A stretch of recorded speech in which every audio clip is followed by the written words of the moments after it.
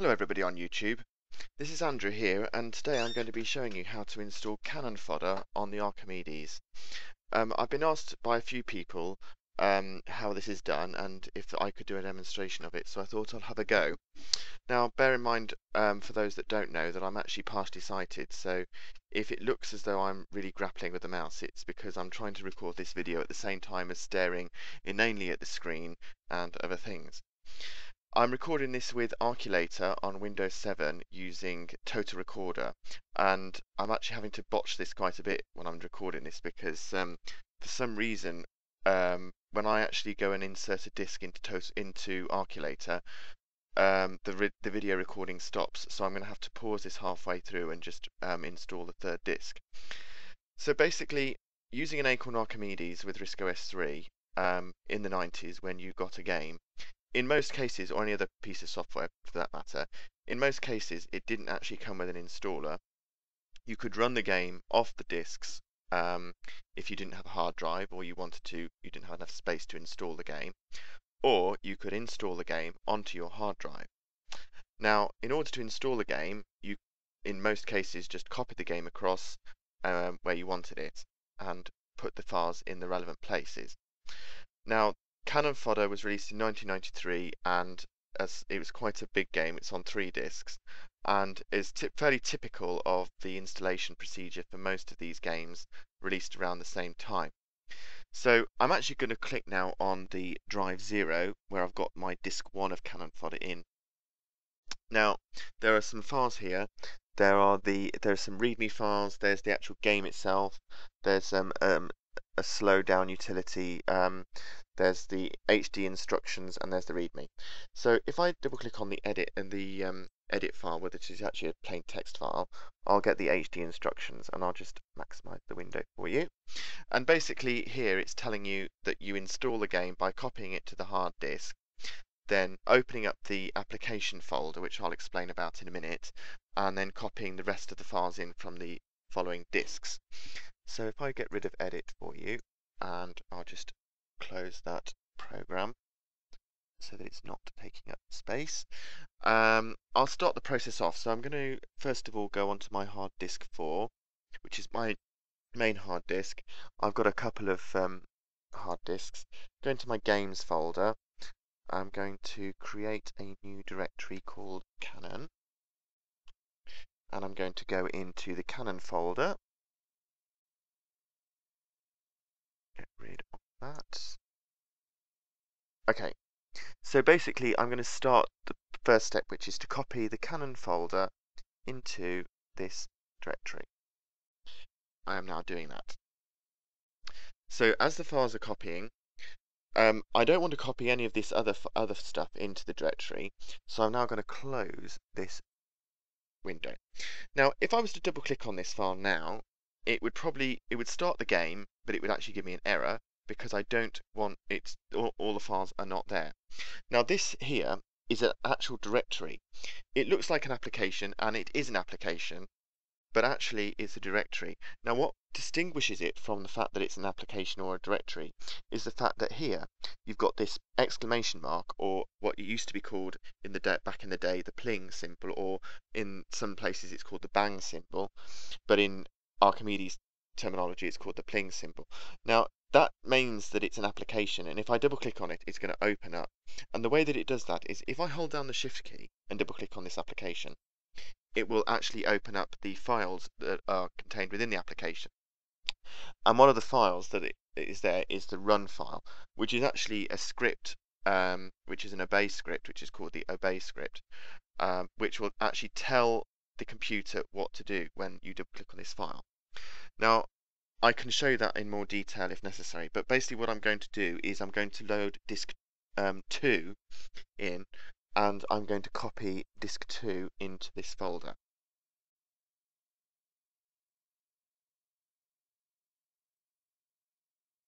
And all the files will copy in and basically we'll have disk 2.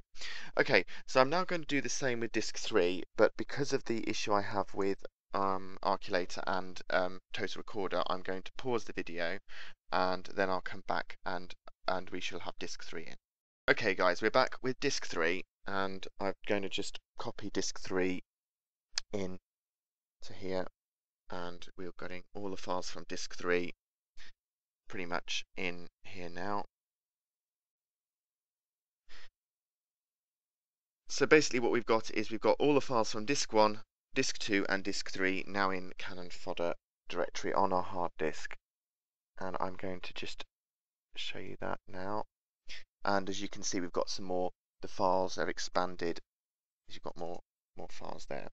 So basically what you'd normally do is this directory is you go into the hard disk on your computer find the games folder of which I have several on here already um, go into Cannon, I haven't sorted it yet these folders. It probably needs to go into a subfolder.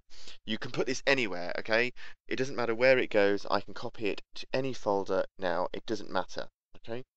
Double click on it and Cannon fodder will start to load.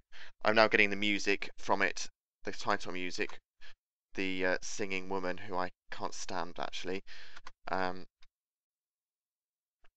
and there we go, we have Cannon fodder.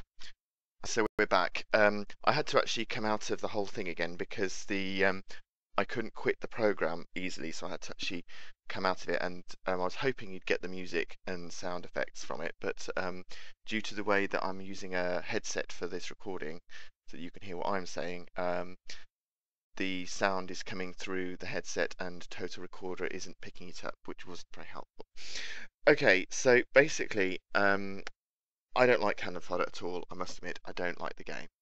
Um, so I don't want it on my hard disk taking up valuable resources on my computer. So what I want to do is uninstall it. And just before I just before I do that, actually, I just want to show you that um, in these um, directories, like disk two, for example, um, because it's showing as a directory symbol and not an application symbol, it's not got the pling in front of it. If I double click on it, it's just a directory and it's got yet more files in which, you know, are the game files required by the game. Now, as I said, I don't like Cannon fodder at all. Uh, so I don't want it on my system. I want to get rid of it. All I need to do is delete the directory. Now, one thing actually, what I should mention here, is that I've turned off some of the options in RISC OS, which will the confirm options. Um, so if you don't like, if you don't want to confirm every action that you do, you can turn off the confirm options um, in the actual menu system here. I can't remember where they are now. Seems oh options. There we go. And basically, if you can see there, I've unticked the confirm option. Just if you if you press your um, left hand mouse button on that one, basically then it will turn it back on again. For those that don't know, by the way, I'm not sure how many people know about the mouse buttons on RISC-OS machines, but um, you need a three-button mouse, um, which most people have now because they have a wheel mouse. So um, the button on the left is the left button. The wheel button is your menu button, so if you do that, you'll get your menu. Um, and the right button is the adjust button, which is used for other functions in RISC-OS. I, to be honest, don't use it that much. Basically, that is how you install or uninstall a game or any other application in RISC-OS. Some programs did come with installers. Um, some programs like Impression Publisher and other programs that did a lot of things, installed fonts and other system files in various directories. Um, but in most cases, you know, that was how you installed programs, and sometimes you had to install extra disks in other folders inside the actual application. I remember Zool coming out, and with that one, you just copied the files into the sort of the main directory, if you like. So where we put the Cannon file, um, there would just be some extra files there with other disks, you know, sort of disk two and disk three or whatever. They wouldn't actually be in the application directory. Um, other disks would be, other games would be different. So basically, that's it. Um, hope you enjoyed this and I hope you found it informative. Um, please leave comments. I'd be really interested to hear what people think, uh, whether it was useful, whether it was a load of rubbish. And uh, yeah, just leave a comment basically. Hope you enjoyed the video. Thank you.